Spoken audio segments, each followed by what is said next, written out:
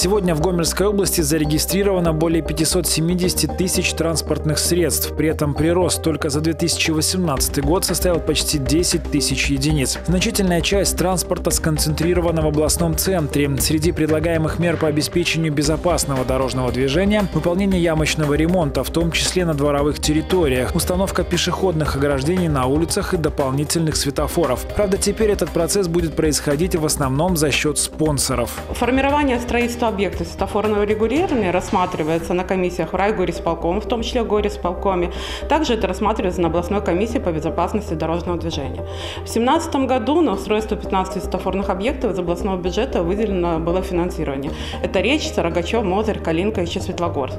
В 2018 и 2019 году возведение светофорных объектов было при реализации инвестиционных проектов. Это Евроопт, Корона. Регулирование дорожного движения с помощью светофоров – одна из актуальнейших гомельских проблем. Из 198 устройств, которые установлены в городе, на центральном управляющем пункте видят только 85. Из всех областных центров такая ситуация характерна только для Гомеля. Последний раз модернизация пункта проводилась более 15 лет назад. С того времени транспортная ситуация изменилась значительно. Все понимают, на реализацию планов потребуются немалые средства, но если более половины светофоров работает практически в автономном режиме, это не лучшим образом сказывается на дорожной безопасности.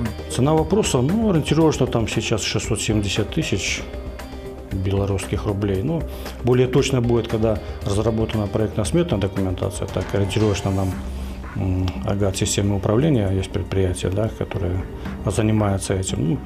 Ну, их несколько в Беларуси таких предприятий. Естественно, когда будет разработана проектно-сметная документация, э, объявлен тендер, то уже по результатам тендера тогда можно точно будет говорить, какая это будет сумма. Ну, зачастую в тендере она очень понижается и прилично. В числе наиболее перспективных путей для снижения уровня аварийности максимальное исключение пересечения транспортных и пешеходных потоков. Что это может значить на практике, объясним на примере улицы Гагариной, расположенной рядом средней школы номер 21. На краю проезжей части столько стоящих авто, что подъехать к 21 школе достаточно проблематично. Еще большую тревогу вызывает тот факт, что в таких условиях учащиеся не всегда видят двигающиеся автомобили, и водители порой замечают детей в последний момент. Впрочем, и с другой стороны школы на улице Столярной ситуация не лучше. Несколько лет назад здесь открыли поликлинику, однако никаких стоянок возле нее не построили. Как результат, машины паркуются возле учебного учреждения. Желательно, чтобы здесь как бы было более свободное пространство,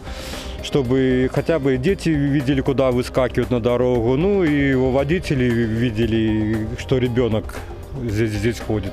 Потому что знаков, что тут школа и всего никаких лежачих полицейских нету. И дорога получается ровная, и водитель едет, он э, ребенка может не увидеть.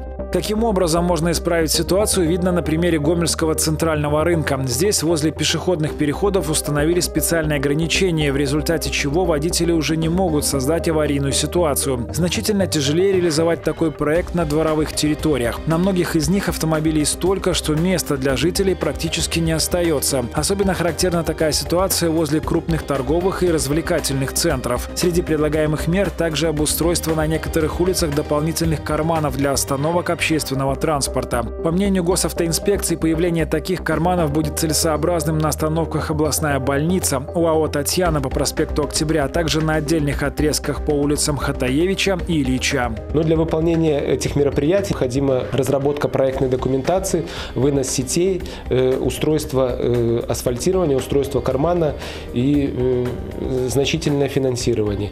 Вопрос этот сейчас рассматривается для включения в программу строительства строительства э, дорожной сети на 2020 год. Несколько лет назад Институт Гомель-проект предложил проект реконструкции Гомельской улицы Барыкина. По словам разработчиков, его реализация позволит создать достойную среду обитания. Правда, когда планы станут реальностью, сегодня не знает никто. Для этого нужны средства и немалые. Однако идея выглядит действительно эффектно. Олег Сентюров, Максим Савин, Валерий Гапанько. Новости недели.